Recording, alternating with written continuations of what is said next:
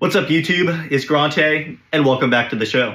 Today, we're going to be diving into chapter three of our audiobook, How to Know a Person. And before I head off to work, I just want to give you guys a bit of an intro. This is chapter three titled Illumination, where we see the positive type of person that you want to have in the friend group, the illuminator versus diminishers from chapter two.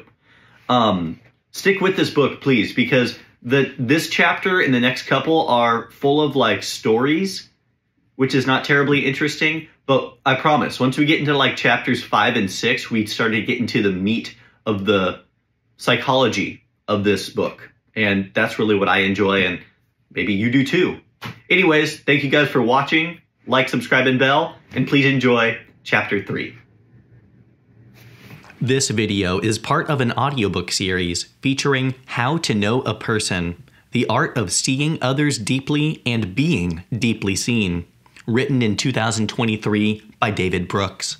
For more audiobooks, please visit my YouTube channel, find me on Spotify, or check out my website for downloads. Chapter 3 Illumination. A few years ago, I was in Waco, Texas. I was there to find and interview weavers, the kind of community builders who knit towns and neighborhoods together, who drive civic life. It's not hard to find such people. You simply go to a place and ask the residents who is trusted around here, who makes the place run.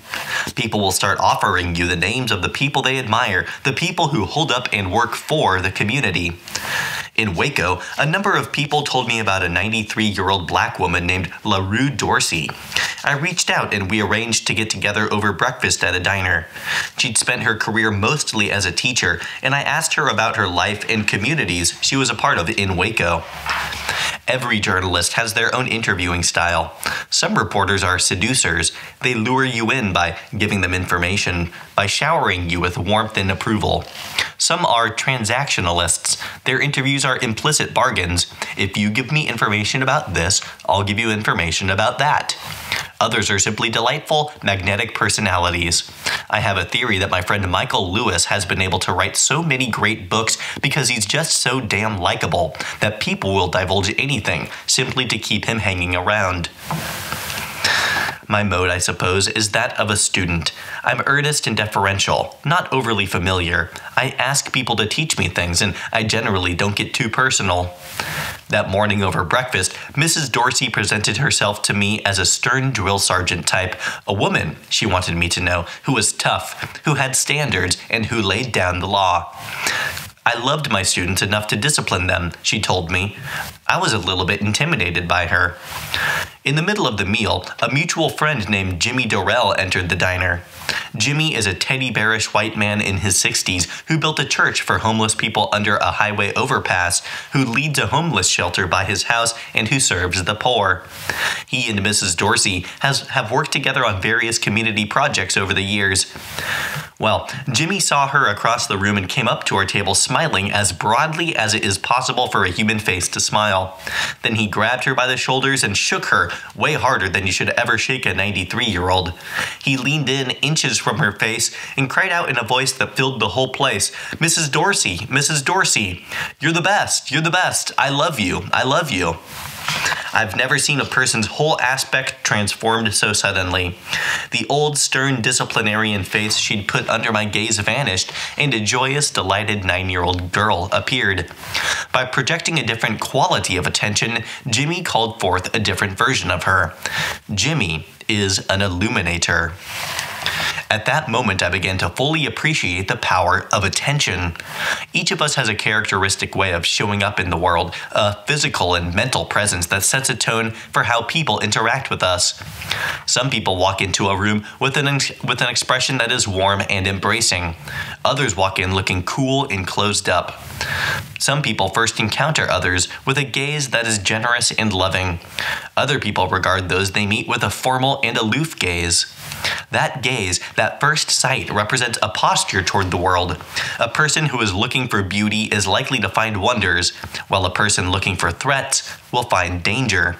A person who beams warmth brings out the glowing sides of the people she meets, while a person who conveys formality can meet the same people and find them stiff and detached.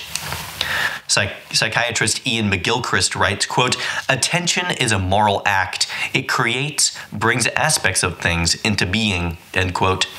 The quality of your life depends quite a bit on the quality of the attention that you project out into the world. The moral of my Waco story, then, is that you should attend to people more like Jimmy and less like me. Now, you may think that this is an unfair comparison. Jimmy had known Mrs. Dorsey for years. Of course, he was going to be more familiar with her than I was going to be. Jimmy has a big, boisterous personality. If I tried to greet people the same way Jimmy does, it would feel fake. It's just not me. But the point I'm trying to make is more profound than that. Jimmy's gaze when he greets a person derives from a certain conception of what a person is.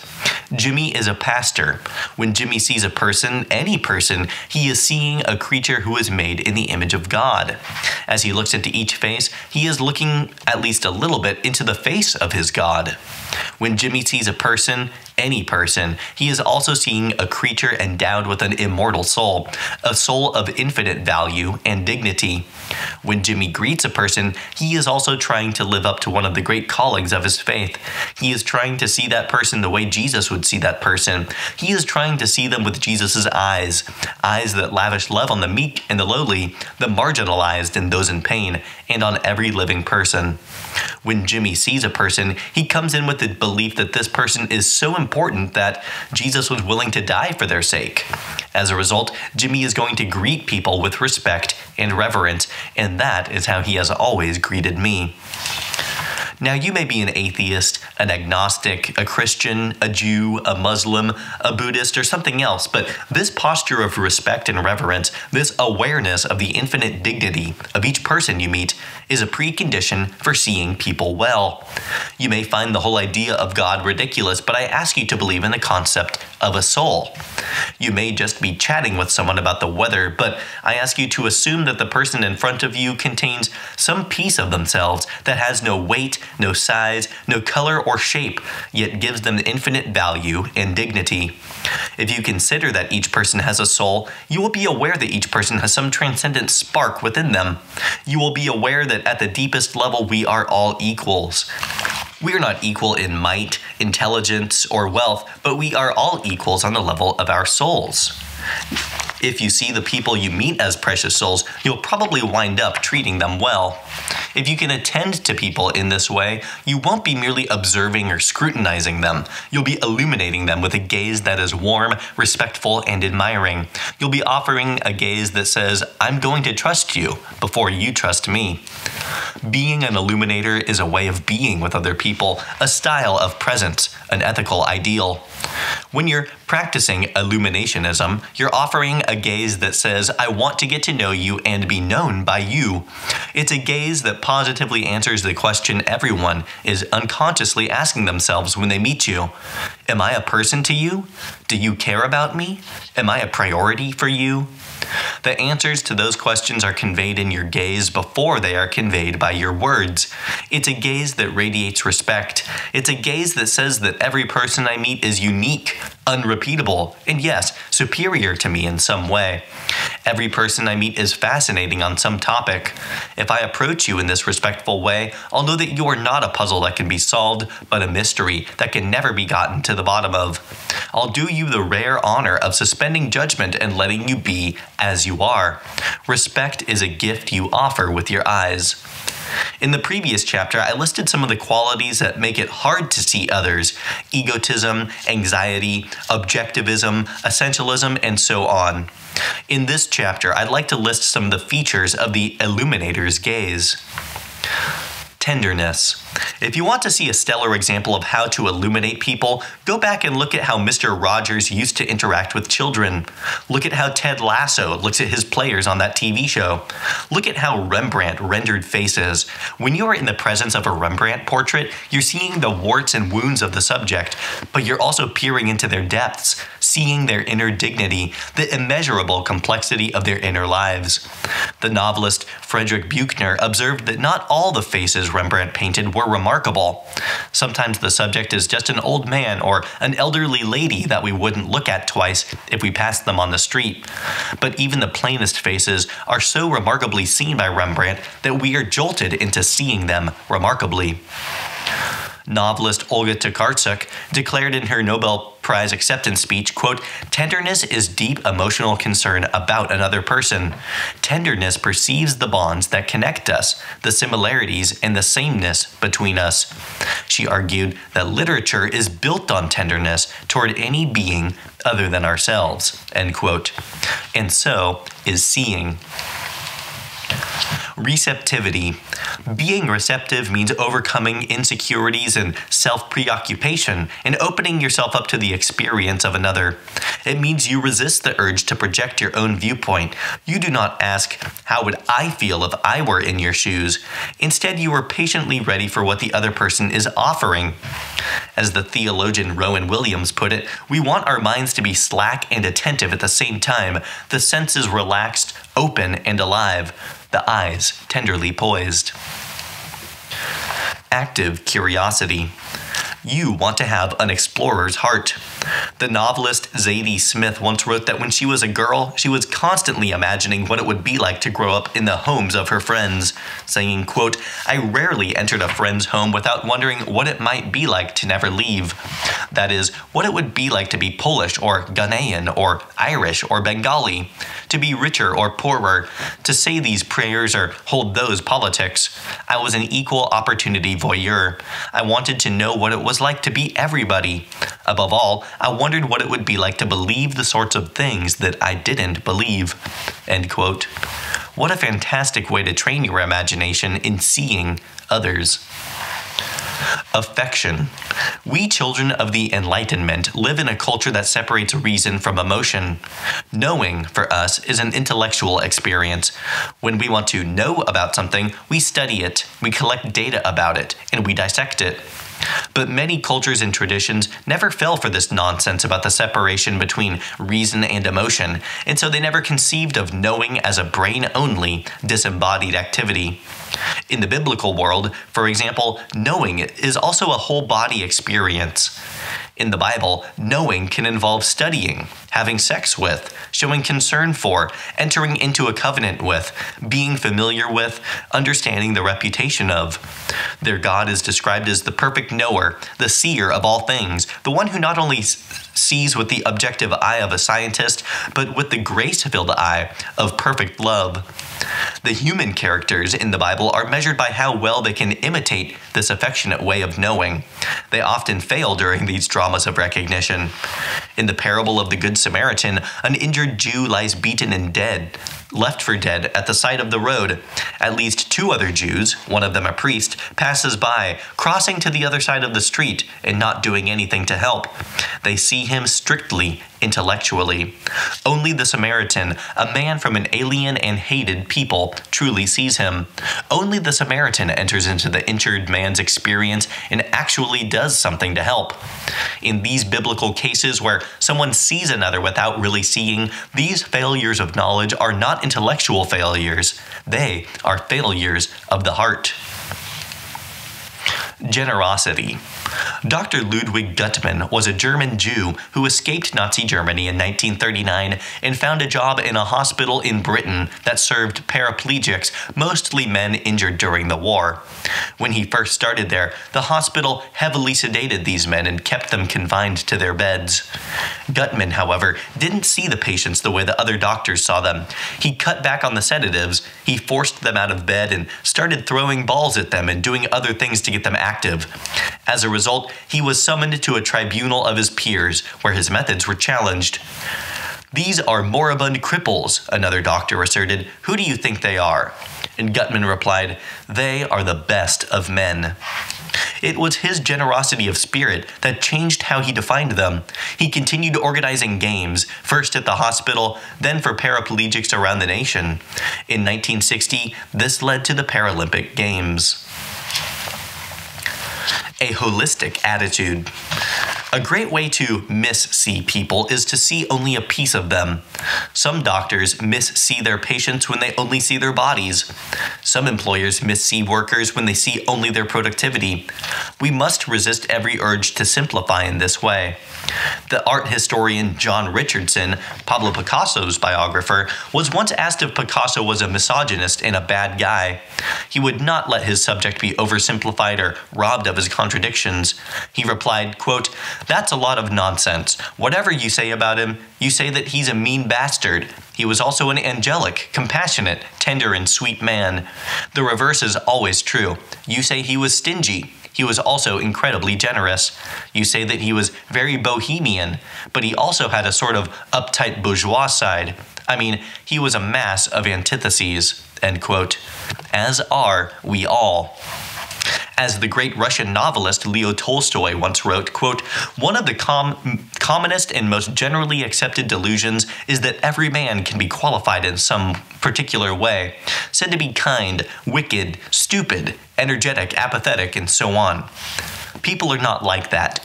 We may say of a man that he is more often kind than cruel, more often wise than stupid, more often energetic than apathetic, or vice versa, but it could never be true to say of one man that he is kind or wise, and of another that he is wicked or stupid. We are always classifying mankind in this way, and it is wrong. Human beings are like rivers. The water is one and the same in all of them, but every river is narrow in some places. It flows swifter in others. Here it is broad, there still, or clear, or cold, or muddy, or warm.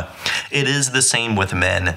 Every man bears within him the germs of every human quality, and now he manifests one, now another, and frequently he is quite unlike himself, while still remaining the same man. End quote. Being an illuminator is an ideal, and one that most of us will fall short of a lot of the time. But if we try our best to illuminate people with a glowing gaze that is tender, generous, and receptive, we'll at least be on the right track. We will see people beyond the cliche character types we often lazy, lazily impose upon them the doting grandmother, the tough coach, the hard charging business person. We will be on our way toward improving how we show up in the world. Educator Parker J. Palmer once observed, quote, Every epistemology becomes an ethic. The shape of our knowledge becomes the shape of our living. The relationship of the knower to the known becomes the relation of the living self to the larger world. End quote. Palmer is saying that the way we attend to others determines the kind of person we become. If we see people generously, we will become generous, or if we view them coldly, we will become cold. Palmer's observation is essential because he is pointing to a modern answer to an ancient question How do I become a better person? Over the centuries, male writers and philosophers, think of Immanuel Kant, have built these vast moral systems that portray moral life as something that disinterested, rational individuals do by adhering to abstract universal principles. Always treat human beings as an end into themselves and not as a means to something else. That emphasis on abstract universal values is fine, I suppose, but it's impersonal and decontextualized. It's not about how this one unique person should encounter another unique person. It's as if these philosophers were so interested in coming up with coherent abstract principles and philosophically impregnable systems that they became afraid of particular people, messy creatures that we are, in the messy situations we find ourselves in, as well as the personal encounters that are the sum and substance of our daily existence. Along comes the philosopher and novelist Iris Murdoch in the second half of the 20th century, offering us something else. She argues that morality is not mostly about abstract universal principles or even about making big moral decisions during climactic moments, like do I report fraud when I see it at work? Morality is mostly about how you pay attention to others. Moral behavior happens continuously throughout the day, even during the seemingly uneventful and everyday moments. For Murdoch, the essential immoral act is the inability to see other people correctly. Human beings, as she finds, are self centered beings, anxiety ridden and resentful. We are constantly representing people to ourselves in self serving ways, in ways that gratify our egos and serve our ends. We stereotype and condescend, ignore and dehumanize. And because we don't see people accurately, we treat them wrongly. Evil happens when people are unseeing, when they don't recognize recognize that personhood in other human beings. By contrast, the essential moral act for Murdoch is being able to cast a just and loving attention on another person. She writes, quote, "Love is knowledge of the individual." End quote. That doesn't mean you have to romantically swoon for everyone you meet. It means that a good person tries to look at everyone with a patient and discerning regard, tries to resist self centeredness and overcome prejudice in order to see another person more deeply and with greater discernment. The good person tries to cast a selfless attention and to see what the other person sees. This kind of attention leads to the greatness of small acts, welcoming a newcomer to your workplace, detecting anxiety in somebody's voice, and asking what's wrong, knowing how to host a party so that everyone feels included. Most of the time, morality is about the skill of being considerate toward others in the complex situations of life. It's about being a genius at the close at hand. But this kind of attention also does something more profound. To use grand old fashioned language, casting this kind of attention makes you a better person. In her celebrated lecture, The Sovereignty of Good Over Other Concepts, Murdoch describes a mother in law, who she calls M, who has contempt for her daughter in law, D. The mother in law is always perfectly polite to D, but inside she looks down upon her. But M is aware that she can be a bit superior, conventional, and old fashioned. M is also aware that she probably harbors some sense of rivalry with D. They're both competing for her son's time and, it, and affections, after all. Perhaps, she realizes, she is seeing D in a way that is unworthy. So, one day, as an act of intellectual charity and moral self improvement, she decides she's going to change the way she sees D. Before she saw D as coarse, but now she resolves to see her as spontaneous. Before she thought D was common, but now she will see her as fresh. M is trying to purge herself of her snobbery and become a better person. This has nothing to do with her outer behavior, which has remained exemplary. It has to do with the purification of who she is inside. Good and evil, Murdoch believes, begin in the inner life, and M wants her inner life to be a little nicer and a little less mean. Murdoch's emphasis on how we attend to people is personal, concrete, and very actionable. Quote, nothing in life is of any value except the attempt to be virtuous, end quote. We can, Murdoch writes, grow by looking. I find this philosophy of moral development tremendously attractive and compelling. Let me give you an example of somebody who embodies the just and loving attention that Murdoch is writing about. I've interviewed a therapist and author named Mary Pipher a couple of times over the past few years to get a better idea of how she goes about the business of getting to know people. Pipher has had professional training, of course, but she told me that her trick when doing therapy is to have no tricks, to just engage in conversation with the patient. Being a therapist, she argues, is less about providing solutions and more, quote, a way of paying attention, which is the purest form of love, end quote. She grew up in a town on the Nebraska prairie amid clashing points of view.